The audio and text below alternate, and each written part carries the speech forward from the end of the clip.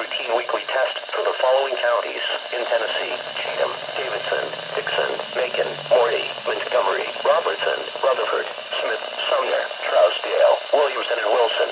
This is a test of the NOAA Weather Radio Warning Alarm Device and Emergency Alert System.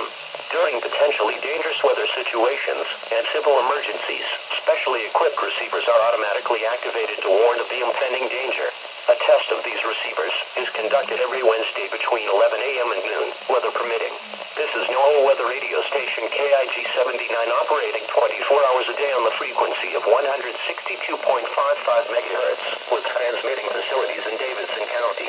This broadcast originates from the National Weather Service office located near Nashville.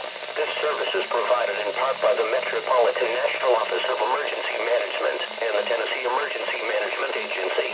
Repeating, this has been a test of the NOAA Weather Radio Warning Alarm device.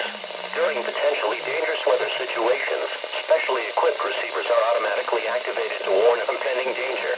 The alarm will be activated for severe weather watches and warnings or civil emergencies affecting the middle Tennessee counties of Cheatham, Davidson, Dickson, Macon, Maury, Montgomery, Robertson, Rutherford, Smith, Sumner, Trousdale, Williamson, and Wilson.